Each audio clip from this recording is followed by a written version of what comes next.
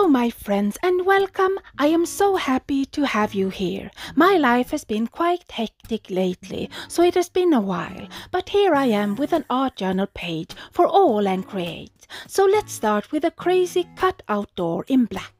I have this large stencil called Superbly Square number 109 and I use a pencil to trace the pattern. You all have seen me use a blade before, so I didn't film the cutting, but you will see the result later in the video. I start off with a stamp set called Alice and Queen number 500 by Janet Klein and I stamp Alice in VersaFine Onyx Black ink twice. Next I have a stamp set called Flamazing number 617 by Janet Klein. In fact all stamp sets today are by Janet Klein and I stamp all the flamingos as well as the little hedgehog. Moving on with this Wonderland vibe, I have a set called Cheshire Cat and Frog Footman number 613 and I stamped the cat twice, but I'm starting to think I need more characters, so I go back and stamp the Queen, the Frog Footman and bring out a set called White Rabbit number 506 and I stamp the rabbit along with his signs, mushrooms and bottle. As you can see, I plan to color these characters with distress inks, starting with Alice. Now, I don't know the story well, but I think I know the colors, and for her dress, I used two blue inks, Mermaid Lagoon and Chipped Sapphire, using the darker to make shadows and filling in with that lighter blue. And I do the same for her headband with a bow. Hair, I'm using the yellow ink mustard seed, adding water where I want a lighter yellow.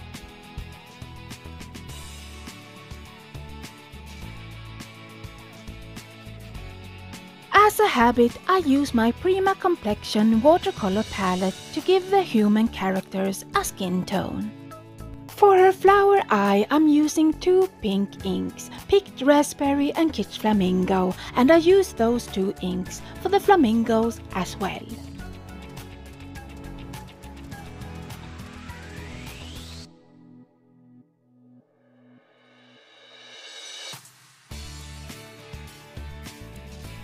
For the Cheshire Cat, I'm using the same pink inks, painting every other stripe dark pink and the rest with light pink, blending out with water to get those highlights in the middle of each stripe.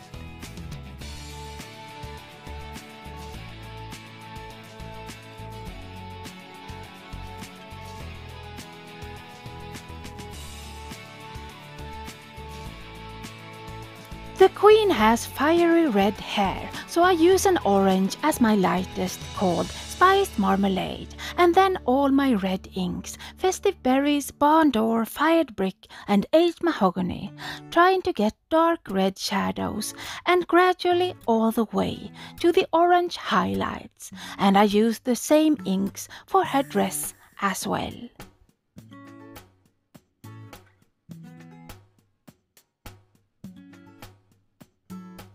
Used the same red inks for the flower eye and the jacket on the rabbit. I also used the yellow mustard seed for the rabbit's vest. The frog footman also gets a red jacket and for his face I start with yellow and move on to the green twisted citron and rustic wilderness.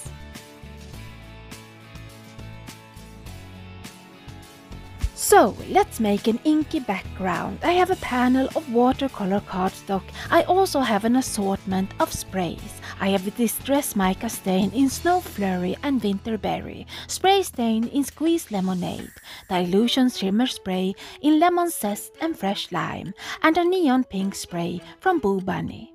I start with yellow, pink, blue and green. And then my neon pink is clogged, so I end up pouring it over the panel. Then I try to make kind of puddles with the blue and the purple spray stain I added, before I add more neon pink again. Now, let's spend some time on the cutout door, I have distress paint in mustard seed and picked raspberry, as well as Dylusions shimmer paint in calypso teal. I add paint to an acrylic block and use a brush to flick splashes of paint all over my black door.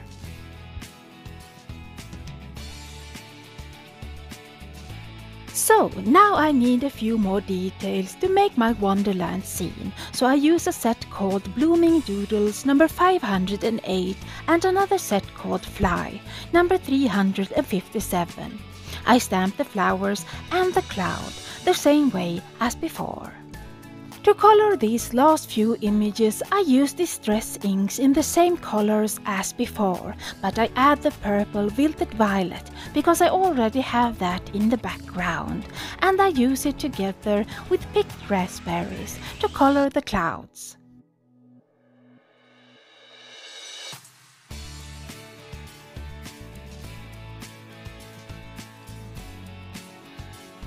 For the flowers, I use the same blue, pink, yellow and green combos as before to keep everything tied together.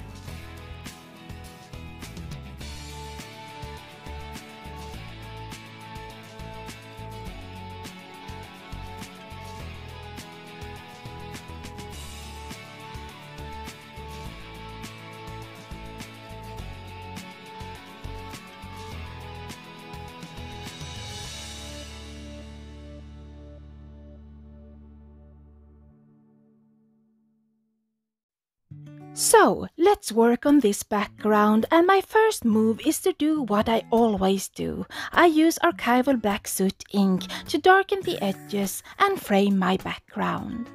Next I bring out a stencil called Cobweb number 144 along with texture paste and black sparkle embossing powder. I push the paste through the stencil and as soon as I remove the stencil I pour that black sparkle embossing powder over the paste and melt the powder with my heat tool.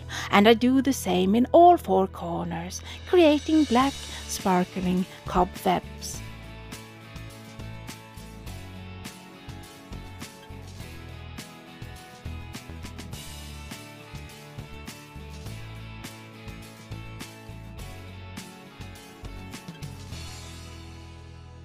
Now let's start putting this page together starting with the cut out door.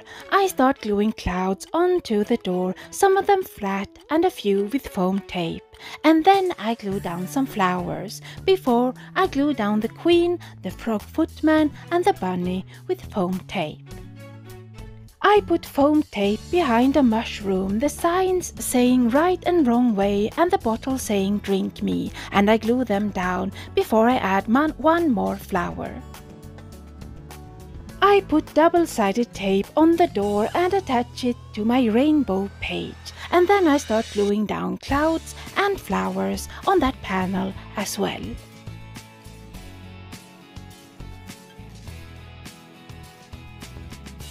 I put foam tape behind the Cheshire cat and the flamingos and glue them down.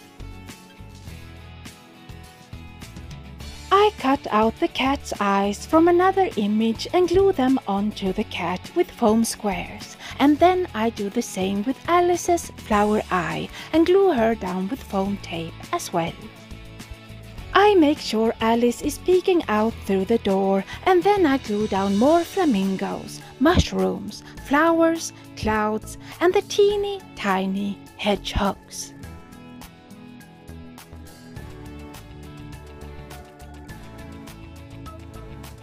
For a sentiment I'm using two of the stamp set, one with the rabbit saying I'm late, I'm late and the one saying the chief difficulty Alice found at first was managing her flamingo, and I heat emboss the sentiments. Right now my images are floating in the air, so I bring out my Stabilo All pencil and scribble down some black to make shadows and activate the black pencil with water, by far the quickest way to ground my characters. The last thing I do on this page is to put foam tape behind the sentiments and glue one down on the door and one on the page. And now, this AALL and Create mixed media Wonderland page is finished. Thank you so much for spending some time with me. Until the next time, happy crafting.